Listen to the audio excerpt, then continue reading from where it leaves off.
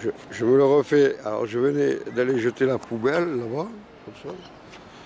Je revenais et là il avait ma guitare et c'était pas mal. Mais j'avais pas pris la caméra, j'ai pas poursuivi.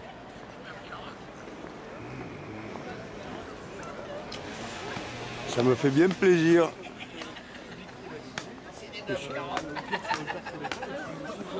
Ça, ça me fait bien plaisir. Je suis Alexandre le Bienheureux là. Hein le, le grand blond avec la chaussure noire. quoi.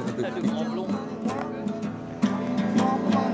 Alexandre le Bienheureux, il a les saucisses.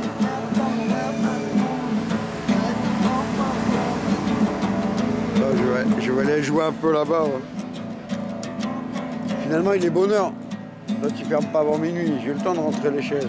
Pas que je sois trop mort. c'est- Il a une, soirée ce soir. C'est ça, hein il m'a dit il y a le temps.